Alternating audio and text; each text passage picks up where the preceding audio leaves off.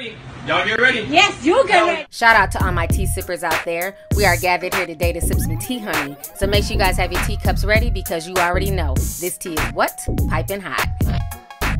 All right, so once again, Tigro Diamond strikes, okay? So I know a lot of you guys have been tagging me in the new upcoming season of the Kardashians. If you guys don't know, the season 16 trailer was just released, and surprise, surprise to no one, especially me, okay? Uh, they managed to fit the whole Jordyn Woods, Tristan third trimester Thompson, and Khloe Kardashian drama into this damn season, okay? Literally, all this just went down last month. I was just in LA a month ago, sitting in my damn Airbnb, you know what I'm saying, breaking down the whole situation.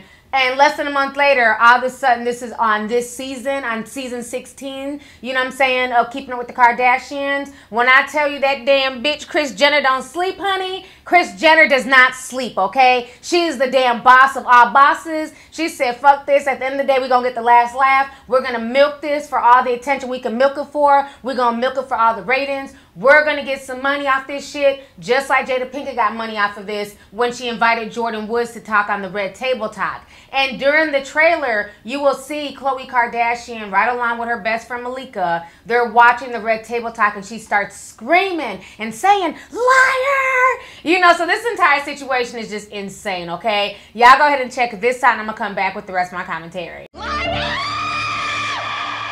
Khloe Kardashian is screaming and sobbing. It sucks. In the juiciest Keeping Up with the Kardashian teaser yet. I'm not just a TV show. Like, this is my life. Sometimes the world forgets just to be kind and that we're all going through something. Khloe Kardashian breaks down as she sounds off on her ex, Tristan Thompson's cheating scandal. It seems like the show will also get into the Jordyn Woods of it all. Here's to Jordyn and Kylie.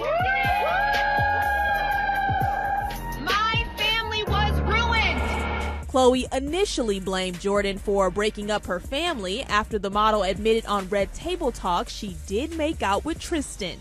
I know I'm not the reason that Tristan and Khloe are not together. I'm no homewrecker. Right, I would never try to hurt someone's home, right, especially someone that I love right. And someone who I've seen has a beautiful daughter. Khloe's since walked back with her blame claim, and a source tells ET despite the drama, Khloe is keeping her daughter a priority. Quote, True is the only thing that matters, not Tristan's lies. True is the best thing that's happened to me. Ever. It's difficult. Nothing is private.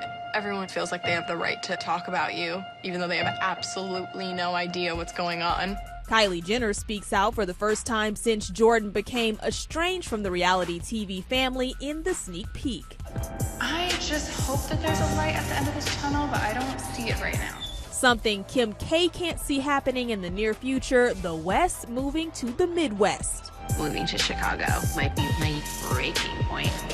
Kim officially addresses Kanye's comments about permanently relocating their family. Back in September, Ye claimed he was moving back to his hometown and never leaving again. We just can't seem to catch a break. Looks like tears, talks, and more tea to spill when Keeping Up with the Kardashians returns Sunday, March 31st.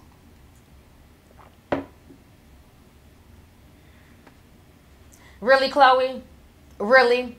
So she wants everybody to handle her situation with kitten gloves and she's human and you know this is her life. And I agree. She is very much human. That is her life. But again, you've done the same thing to other people. Now you know how that shit feels, okay? I'm sure Trina was crying her eyes out behind the scenes when you basically took her living boyfriend, French Montana, from her, okay? I'm sure Jordan uh, Craig uh, Tristan Thompson's baby's mother was also crying her eyes out when you basically took him from his six month pregnant girlfriend at the time, okay? So that's the thing. Like I always say, the same way you get them is how you lose them. Meanwhile, Tristan Thompson is out here living his best life, honey. He's in cars rapping, he's on the beach drinking nice cold drinks and shit acting totally unbothered. And then they're also saying that Tristan has not seen True, the baby, in quite some weeks. So, you know, at the end of the day, regardless of him and Khloe are together or not, he still needs to be a father to that child, okay? It's not okay for him to not see his kid anymore. He has two children. He needs to stop chasing women and start being a father to both of these babies. So this entire situation is insane, but once again, like I said, I'm not surprised at all that somehow they managed to re-pick up production, record all this bullshit playing out, get it quickly edited, and stuffed into season 16 of Keeping Up with the Kardashians. So anyways, y'all, let's go ahead and get the discussion popping. Go ahead and leave a comment. Are you going to be tuning in this season? Are y'all here for the bullshit? Or do you feel like, you know what, I don't give a damn how many trailers y'all put out there. Kris Jenner, you're not baiting me into watching your bullshit show, okay? So let's go ahead and get the discussion popping. Go ahead and leave a comment. All right. Deuces.